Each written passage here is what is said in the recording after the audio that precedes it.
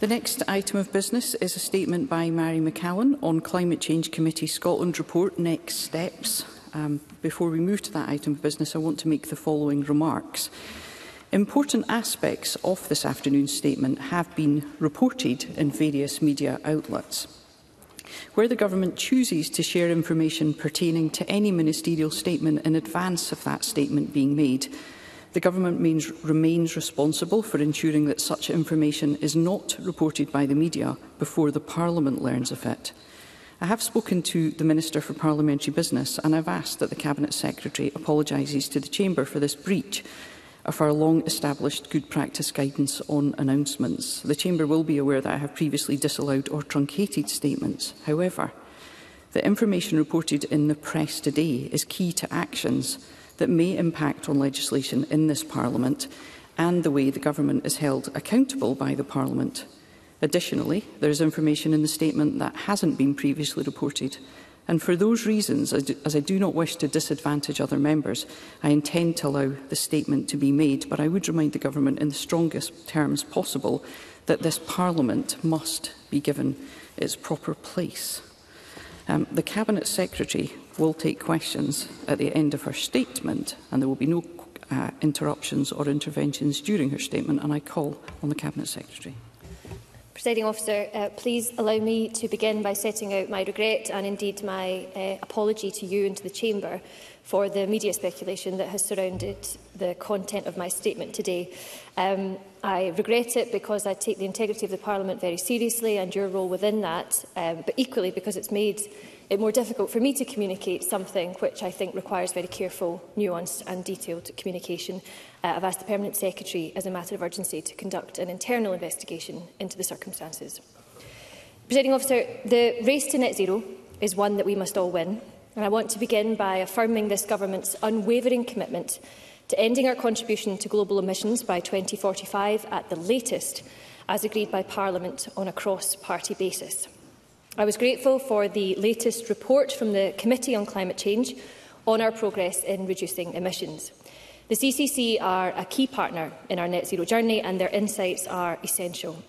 Their report it recognised much to be proud of, including this government's provision of free bus travel to all under 22s, our work delivering more woodland in Scotland in a year than any other UK nations combined, and our work in decarbonising heat in buildings, noting that it could become a template for the rest of the UK.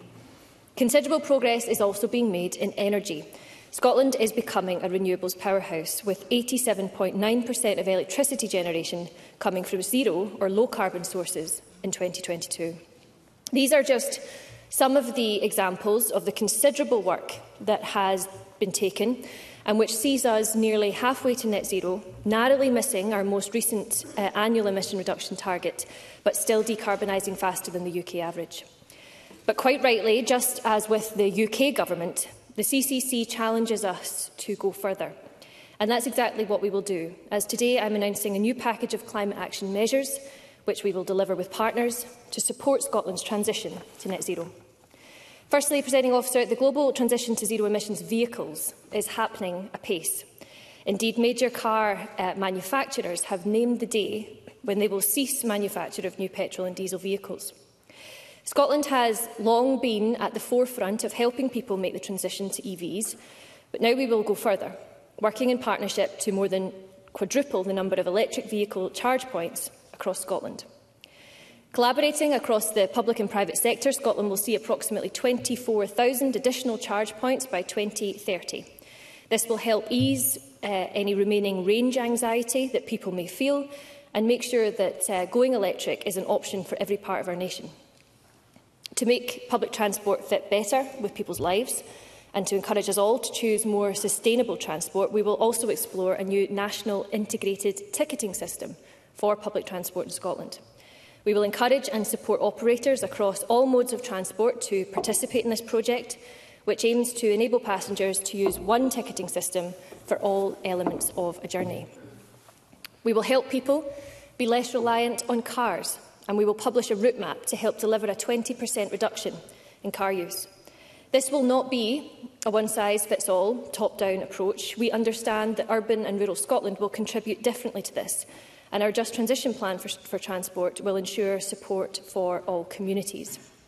Turning to other vehicles, we will support the transition away from petrol and diesel vans, working with business, including the largest companies for an initial, an initial phase, and in line with our New Deal for Business principles, we will develop plans and support mechanisms to accelerate the switch to zero-emission technologies and more sustainable modes.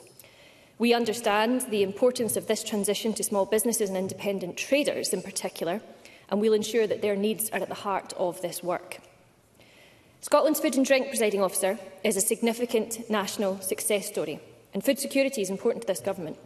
That's why we're supporting our farming community to continue producing food whilst lowering emissions. The Cabinet Secretary for Rural Affairs is working with the sector to deliver this, including through the ongoing Agricultural and Rural Communities Bill and the Agriculture Reform Board that she co-chairs with the National uh, Farmers Union of Scotland. But we want to do more to support our agricultural sector to lead the way in regenerative farming and food production. That's why we will take forward a pilot scheme with some Scottish farms to establish future appropriate uptake of methane-suppressing feed products or additives, a key measure to reduce emissions from livestock where practical. Some of these additives are being pioneered here in Scotland, so we look forward to working on this homegrown innovation. Proportionate carbon audits will also be required by farms receiving public support by 2028 at the latest. Nutrient management plans will build on this and be integrated into the whole farm plans. We will also accelerate our regional land use partnerships, with up to three new areas coming into the initiative over the next year, recognising, of course, that successful partnerships are those driven by communities. And to further accelerate peatland restoration, We will investigate how partial rewetting can coexist with continued agricultural uh, activity and access to agricultural support, including investing up to a million pounds in pilot projects. This summer, Presiding Officer, we will also launch a consultation on carbon land tax on the largest estates, as part of considering regulatory and fiscal measures that could further incentivise peatland restoration, afforestation and renewable energy production. We're also considering the recommendations from the Green Heat Finance Task Force to review and publish by the end of the year analysis of how non-domestic rates relief can better support our climate ambitions and encourage investment in energy efficiency and clean heating systems. This will be developed working closely with the business community in line with New Deal for Business principles. Presiding officer, Scotland is distinguished by the importance that we place on a just transition. We will publish our final energy strategy and just transition plan this summer, to be followed by draft plans for agriculture, transport, buildings and construction. Moreover, following the publication of a just transition plan for Grangemouth, I can confirm today that we will co-develop a just transition plan for Musmorrin. These policies again emphasise the critical role that Scottish businesses and industry play in our net zero transformation, and we will work closely with them throughout delivery.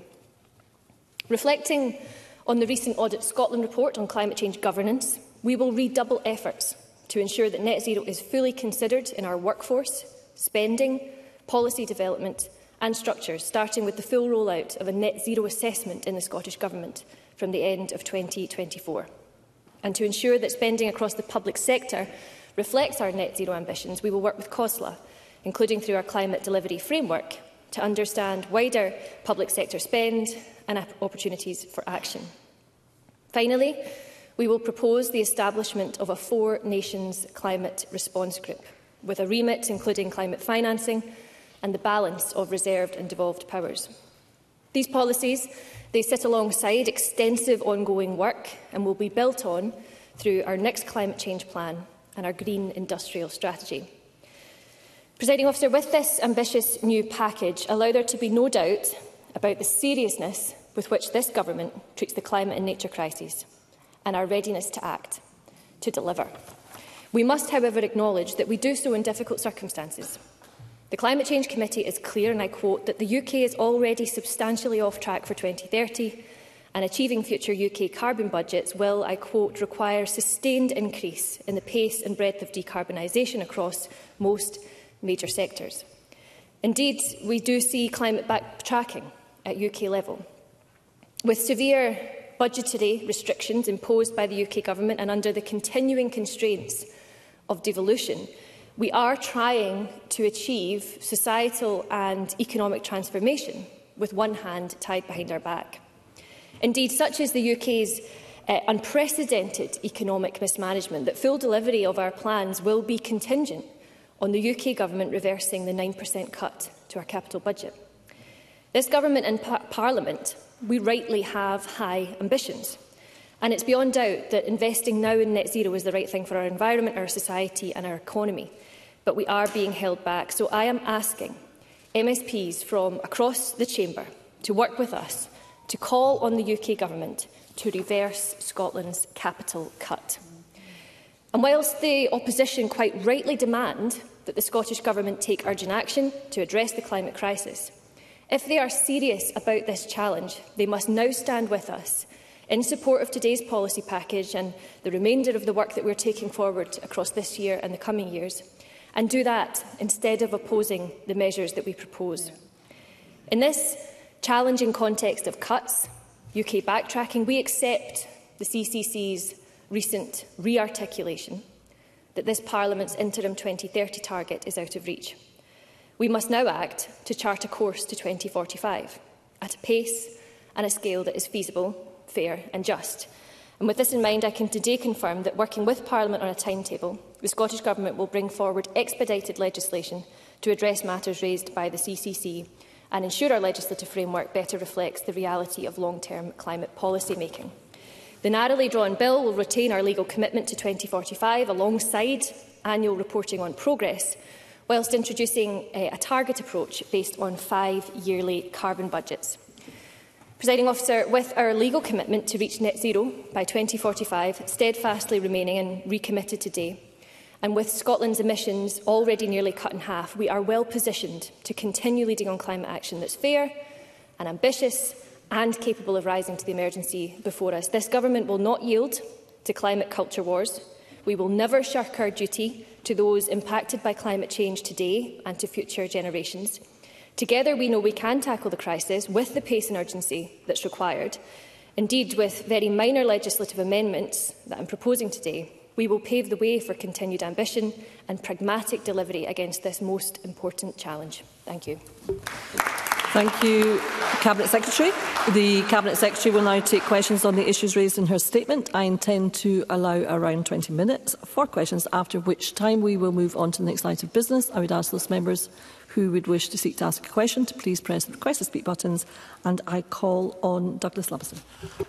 Uh, Presiding officer, I would first like to thank the BBC for advance sight of the Cabinet Secretary's statement. Yeah.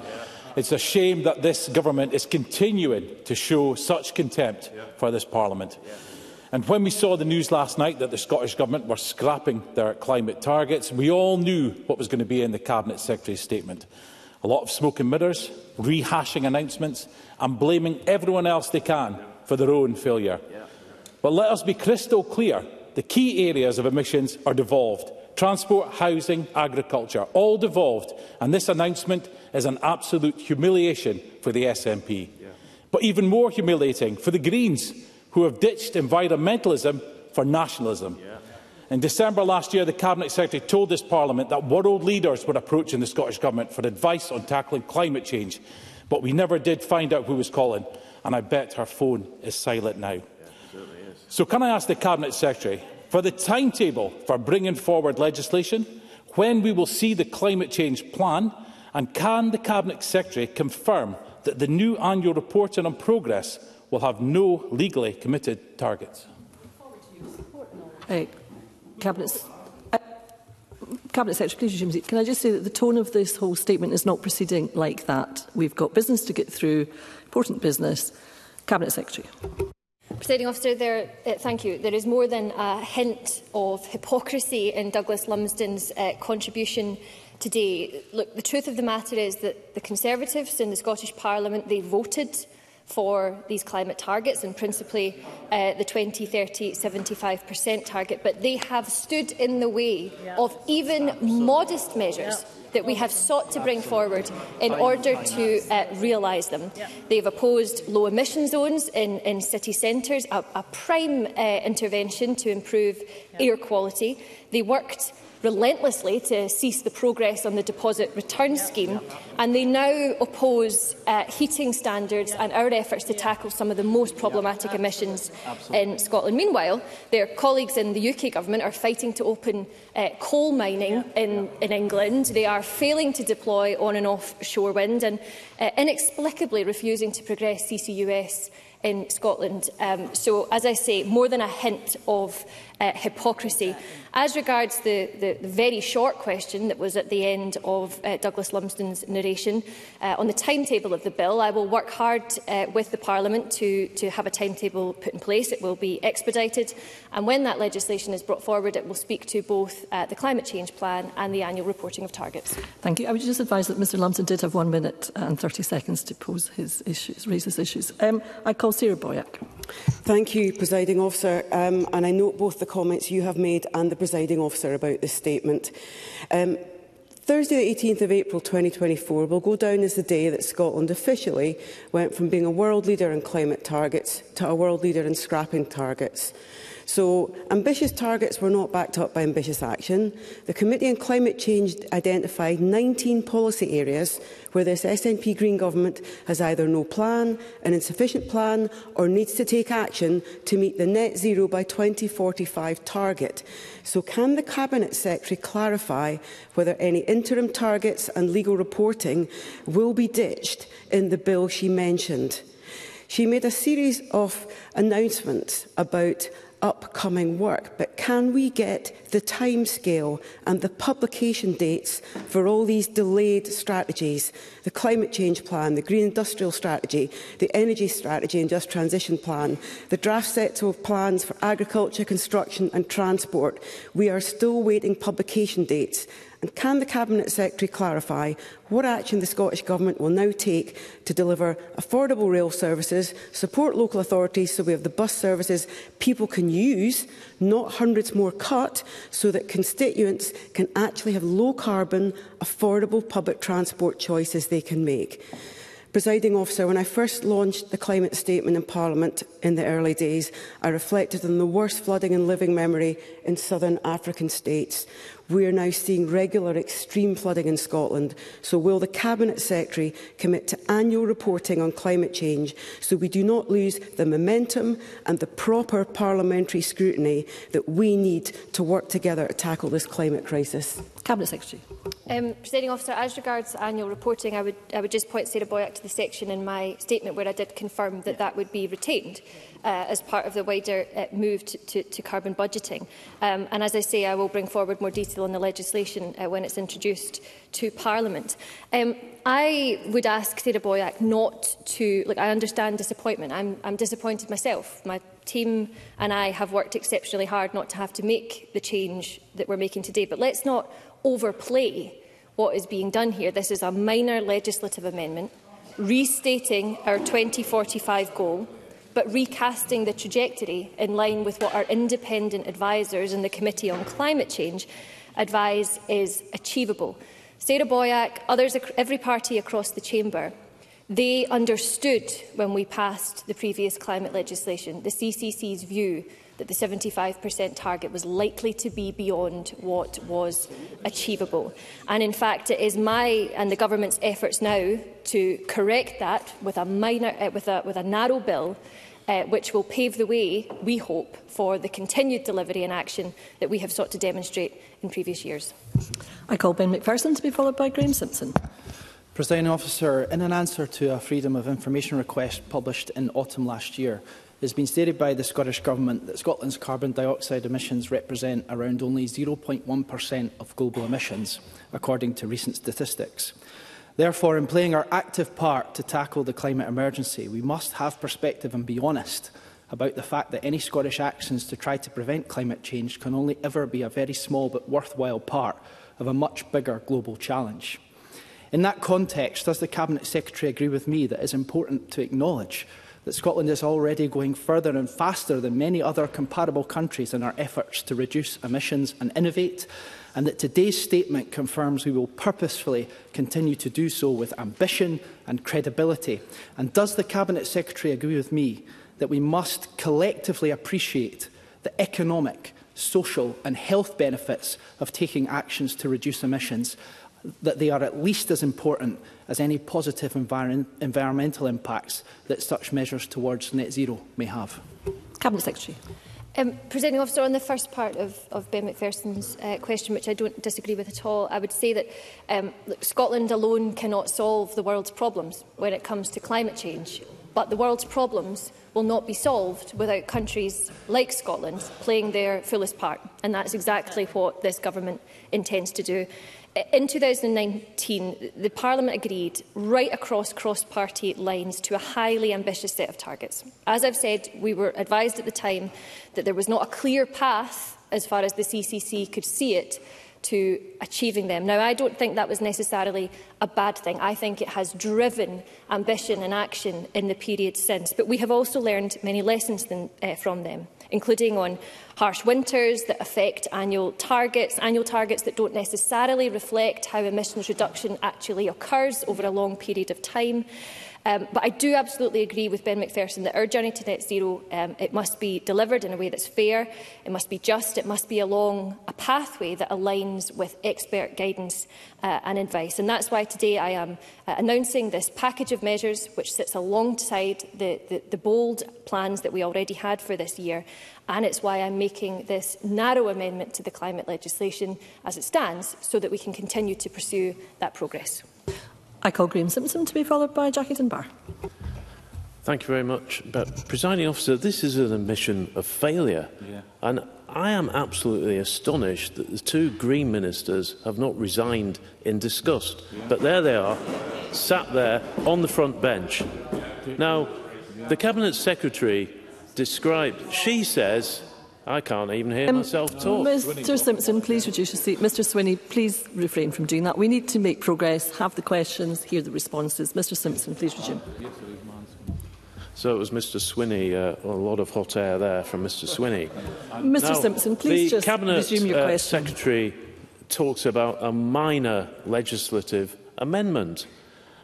but targets were set uh, in this Act, the Climate Change Emissions Reduction Targets Act, 2019, um, the requirement to have a, a climate change plan, which is now overdue, was also in that Act. Can the Cabinet Secretary tell us what will remain in this Act in her, what she describes as a minor legislative amendment? Cabinet Secretary. Uh, Presiding officer, it's the intention of the government that the vast majority of what is in the Act will be uh, retained, subject to those changes that I have set out today, which coalesce principally around the 2030 target and annual targets. But as I've said, I will uh, I intend to, to seek to take the bill forward on an expedited basis. I'll work with the Parliament on that timetable and indeed on the content of the bill. I call Jackie Dunbar to be followed by Colin Smith. Thank you, Presiding Officer. The plans and ambitions of the Government require sufficient resource to be realised. Our climate targets and how we go go about realising them cannot be discussed or considered in isolation from the wider UK context. What will the Cabinet Secretary do to reiterate to the UK Government that it must reverse the swinging cuts it has imposed on Scotland in order for us to fully realise our ambitions for climate and nature? Cabinet Secretary.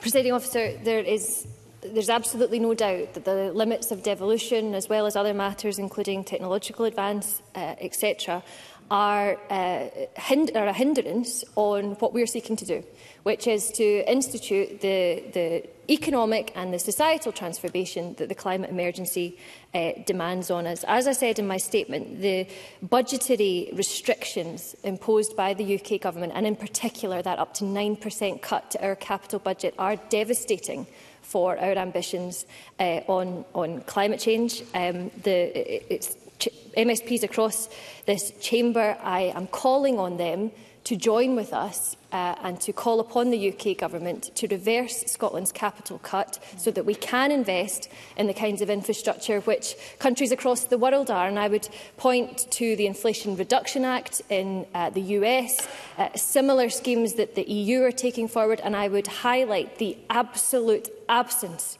of those plans at UK level from the current incumbent government and equally from the Labour Party, who are seeking to enter number 10, having just ditched their green investment pledge of £28 billion.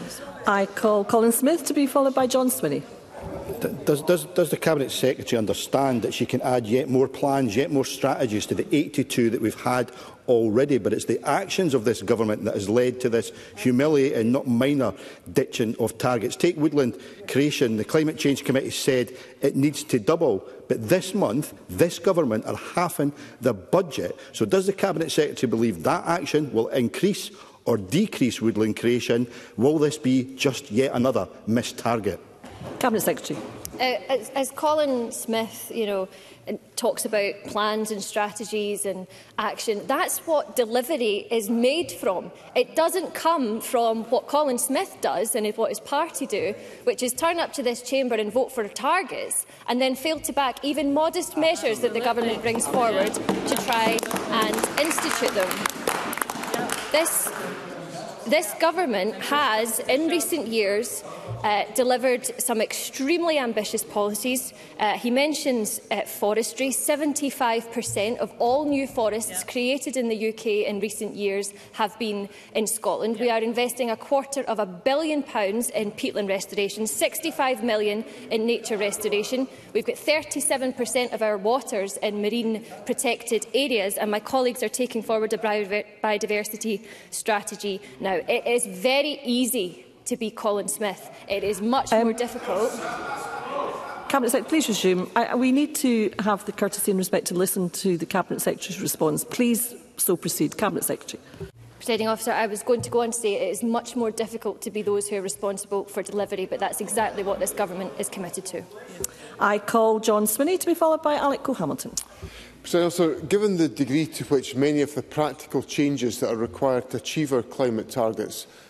are often contested or the subject of criticism and frequently resisted by some members of parliament, what significance does the Cabinet Secretary attach to trying to overcome these obstacles by working with local community-driven initiatives such as the one she visited in my constituency yesterday, where people are coming together in Dunkeld and Burnham to encourage real commitment around climate action within their own community.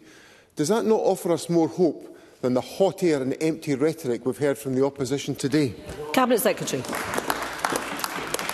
presiding officer, it absolutely does. I know from, uh, and I know my colleagues will be the same, from the engagement that we have with people who care about this issue across the country, the country, you can often feel that the magnitude of the climate crisis makes you feel that as an individual you can't contribute, you can't make a difference. Uh, but it's not the case. And examples like the uh, Climate Cafe initiative, including where it was born in Dunkeld and Burnham that I visited yesterday, they exemplify how communities uh, and action that is driven from the ground up um, is happening all across Scotland and it is making a considerable difference in this all of Scotland, uh, all of government, all of business, all of society challenge. I call Alec Cole-Hamilton to be followed by Maggie Chapman. Thank you, Presiding Officer. Presiding Officer, what the Cabinet Secretary describes as a minor legislative amendment is in fact a monstrous generational betrayal from the SNP and their Green partners. It is a cynical attempt to dodge bad press by simply abolishing the climate change target targets that they have repeatedly missed four years, we have had to endure smug lectures from nationalist ministers about how Scotland was a world leader on climate targets. But it has never delivered on the hard graft of insulating homes, making transport cleaner, or creating green jobs. They are incapable of getting even the basics right because their nationalism has always trumped their environmentalism. So can I ask the Cabinet Secretary, given the botched recycling schemes, the rail fare hikes, the bus service cuts. Is there anywhere else on the planet where Greens in government have torched climate targets for a seat at the table? Cabinet Secretary. Presiding officer, um, Uh, Alex Cole Hamilton's faux outrage in the chamber today is utterly true to form. He deserves an Oscar for his contribution. uh, a number of weeks ago, he sat with me and with colleagues in Butte House at our invitation, and he listened to the Committee on Climate Change give us a very factual uh, lecture and update on the state of play as regards climate. And two key points were made. 75% by 2030 was always regarded as pushing at the limits of what was possible, and that annual targets in the measuring thereof don't necessarily reflect how long-term emissions actually happens. He knows this and yet he plays up in the chamber today. What I would say to him is that the, the climate crisis, the twin crises of nature loss, these are too important for people like Alex Cole-Hamilton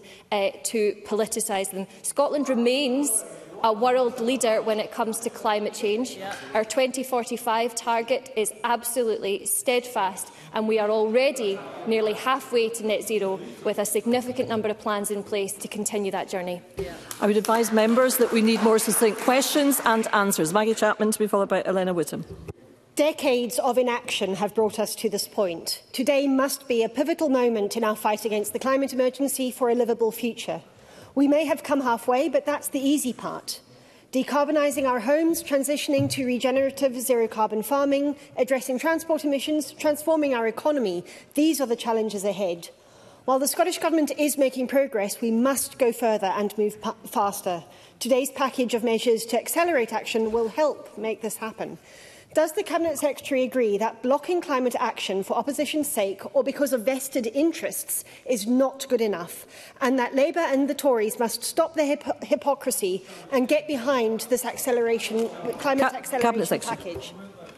Officer, I absolutely agree uh, with Maggie Chapman. As I said at the beginning of my statement, the race to net zero is one that we must all win, and we frankly will not get there uh, with some of the hypocrisy that's being demonstrated today. I've already said you will never hear me say, as the Net Zero Secretary, that Scotland is yet doing enough. Frankly, I don't think any country in the world will be able to say that until we have reached uh, net zero. That's why we need communities across Scotland, business and industry, the third sector, our local authorities and MSPs across this chamber to unite uh, and to put in the hard yards when it comes to supporting actions to deliver emissions reduction. So I absolutely agree. It's time for the opposition to stop the hypocrisy, unite uh, across the chamber, get behind today's policy package and don't stand in the way of the measures that we seek to bring forward uh, for emissions reduction in Scotland. I call El Elena Whittam to be followed by Maurice Golden. Deputy Presiding Officer, regrettably the cross-party consensus that did exist in 2019, both here and in Westminster, has evaporated. We thought that the UK Government was going to act in um, lockstep with us on emissions, but it failed to do so, and it has even rolled back on key policies. Cabinet Sec Secretary, does this not show the limits of devolution? And given the ex existential threat we are facing, how can she support all of us collectively in this place to push for the changes we need to see right across all of these islands and indeed globally? Cabinet Secretary. Presiding Officer, Elena Whittam is absolutely right. I hope that we can uh, reconvene that cross-party consensus that has existed in the past but has been eroded uh, in recent times. She's also absolutely right. It does nobody any favours to underplay the scale of what's required to tackle climate change. Um, I've talked about that transformation. And when, as a devolved government, trying to do that when you don't have powers over oil and gas licensing, over CCUS, CCUS over the long overdue grid upgrades that we require uh, right across the country, over the ability to change uh, vehicle excise duty and other uh, uh, interventions that um, encourage different behaviours in transport. Uh, I will seek to address this by that uh, commitment I made in the statement for a Four Nations uh, climate response. I will be seeking cooperation across the UK and I'll be trying to encourage colleagues at uh, UK government level of whatever colour Colour to join us in that. I call Maurice Gosens, followed by Bob Doris. Thank you, Deputy Presiding Officer. Having abandoned the 2030 net zero target, the SNP Greens need to prove this isn't the beginning of a general retreat on climate policy. No more warm words or blaming non-decision makers for decisions the Scottish Government have made. Sustainable consumption and behaviour change will be key to meeting our net zero targets, yet neither receive a mention in the statement. What transformational action is being taken in these two important areas? Cabinet Secretary. Presiding officer, I'm afraid I didn't actually catch the, the last part of Morris Golden's statement, if you would be able to repeat it.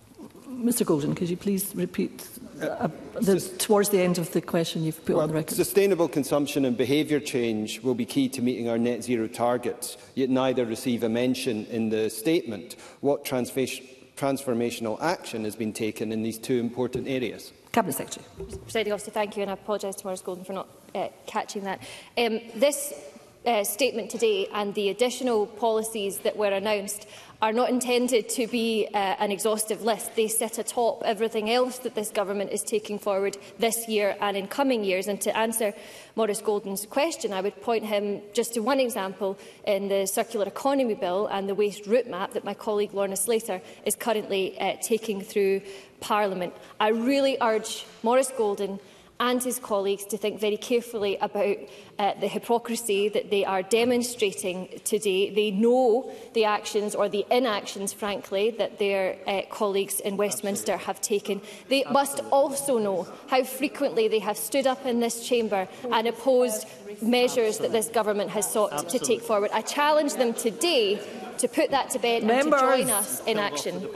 And I call Bob Doris presiding officer, to secure the step change in all our behaviours required to tackle climate change, including political behaviour in this place, quite frankly, we need to be clear about the impact of climate change, not just the impact overseas, but also here at home. Can I therefore ask the Cabinet Secretary how the Scottish Government seeks to highlight the consequences of climate change on Scotland to our communities across Scotland, such as the recently reported concerns over food shortages and rising food prices in the UK as a consequence of severe weather events. Cabinet Secretary. Presiding officer, I think Bob Doris's observations are absolutely right. In many ways, in Scotland, we are not uh, on the front line of climate change and uh, we require to uh, remind people in Scotland about our moral obligation to support communities throughout the, the world who are right now on the front line of climate change, but equally we have seen in recent months in Scotland the very real impacts of adverse, uh, continued adverse weather patterns on our communities, not least the, uh, the record number of named storms that Scotland suffered this winter, with impacts on our transport infrastructure uh, and indeed with lives lost. Um, so the combination of both of those things, I think, are very important as part of the message as to why uh, we must continue to make action. Thank you, Cabinet Secretary. That concludes the statement. I apologise to those uh, additional members who sought to ask a question that I was not able to squeeze them in. That was as a result of the fact that some of the questions and answers were excessively long, uh, and I also need to protect the rest of the afternoon's business. Thank you. There will be a short pause before we move on to the next item of business to allow frontbench teams to change position. Thank you.